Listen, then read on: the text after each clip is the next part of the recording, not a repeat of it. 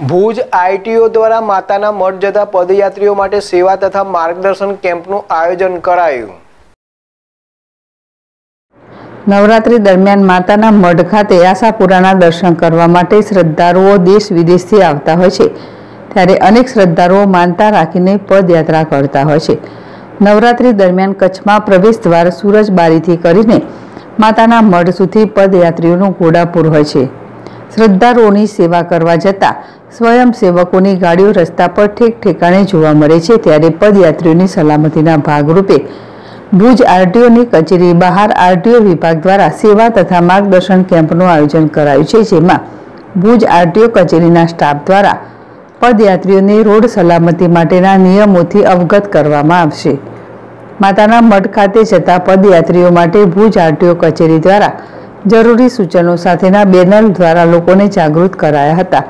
રાત્રિના સમયે ચાલવાનું ટાળવું તથા વહેલી સવારે ચાલતા પદયાત્રીઓએ રેડિયમ રિફ્લેક્ટિવ ટેપ લગાવવી તથા રેડિયમ જેકેટનો ઉપયોગ કરવો. રસ્તા પર ચાલતા સમયે રોડ પર દોરેલ સફેદ માર્કિંગ સ્ટેપની બહારની જ બાજુ ચાલવો.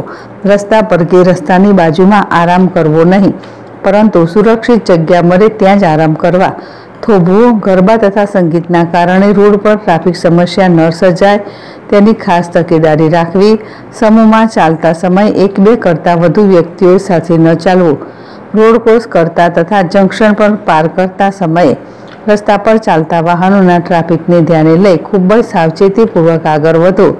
વાહનો સાથે યાત્રામાં જોડાયેલ વાહન ચાલકોએ પોતાના વાહનના પાછળના ભાગમાં પૂરતા પ્રમાણમાં રેડિયમનો ઉપયોગ કરવો તથા પદયાત્રીઓની સલામતીને ધ્યાન લઈ વાહન રોડની સાઈડમાં સુરક્ષિત જગ્યાએ લગાવ્યા બાદ જ સેવા કાર્ય કરવો સહિત સૂચનો દ્વારા અવગત કરાયા હતા, જેથી કોઈ રોડ અકસ્માતની ઘટના ન બને અને લોકો સુરક્ષિત પદયાત્રા કરી શકે.